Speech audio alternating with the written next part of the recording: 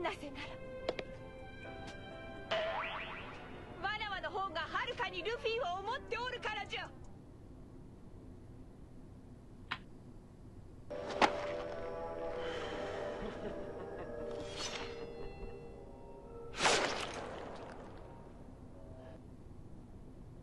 So we finally. Now, let's take a look at him. メロメロメロ